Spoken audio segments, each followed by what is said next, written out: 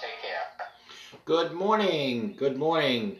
My name is Ralf Friedrichs. I am an addiction recovery coach, a life coach, and the host of this show, the Take Your Life Back Today radio show. You can see a video version of this if you go to YouTube under channel Take Your Life Back Today show. Do you guys believe in silver linings? I do. How to stay positive during the coronavirus. These anxious and unusual times bring unforeseen difficulties into our lives, but the best human nature can rise to the challenge.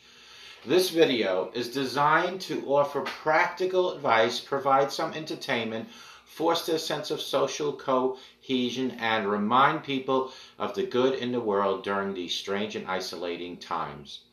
With all tragic things that have happening in the world as a result of the coronavirus, you might seem like an unusual time to talk about being positive, but we have to stay positive.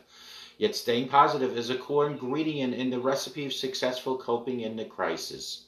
Now, more, e- more than ever, is the time for us to be proactive about creating small moments of happiness in our days. Given the findings in psychological research that positive emotions help us undo the negative effects of the daily stress that we all face in life.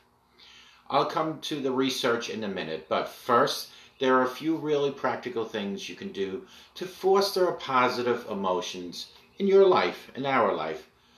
I want you to savor the small moments. Even during lockdown, you still have many small moments to savor the smell of coffee, the feel of warm shower on your back, and so on.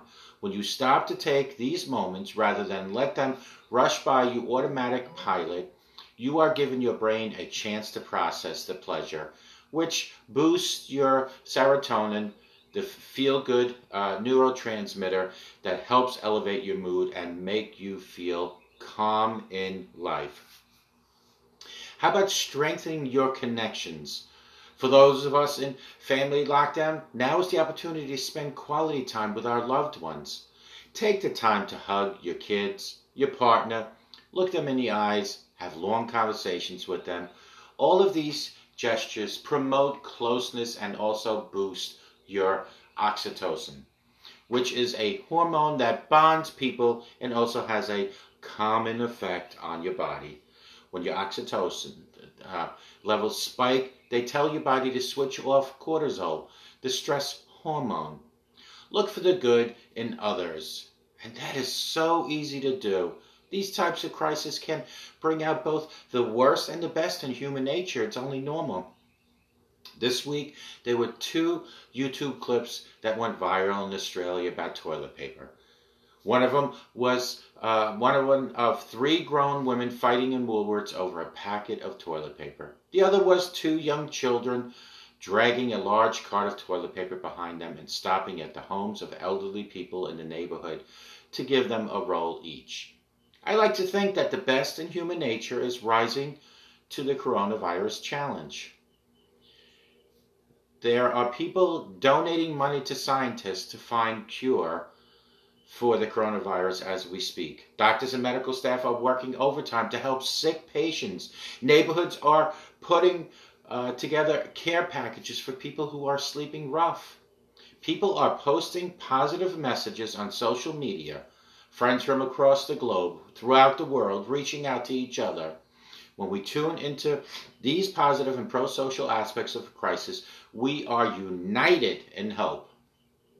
By tuning into these silver linings I just talked about, you can potentially change your brain chemistry and build up your energy stores to help you cope with other aspects of your day that have been made more difficult as we uh, have been going through this crisis.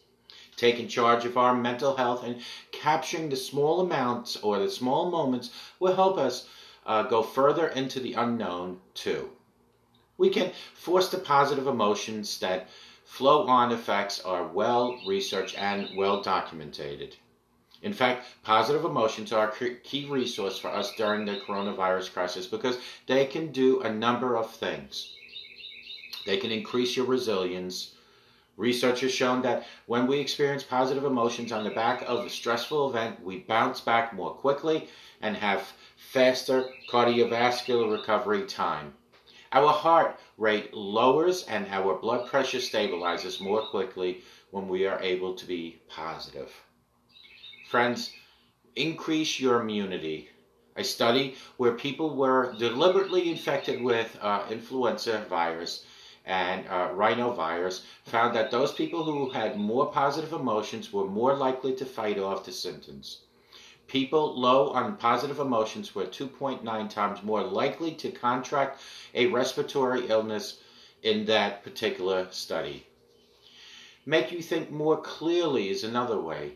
The way we feel influences the way we think. Positive emotions boost our problem solving abilities as well as our judgment, decision making, cognitive flexibility, and creativity. Staying positive will help you uh, you and your kids to be better at solving all the little problems that are being thrown your way, especially right now, such as figuring out new technology platforms for working and schooling from home. Every cl- dark cloud has a silver lining, and this is your chance to thicken that lining and take charge of your mental health so that you can come out of this come out of this so much stronger. And with the help of God, you will be guided and directed towards the silver lining. Make, uh, can you call me at 844-405-HELP? You can um, uh, uh, talk about how we can help each other throughout these crises. May God bless each and every one of you. Remember, a simple smile to a stranger can change that stranger's day and can help you in your daily life.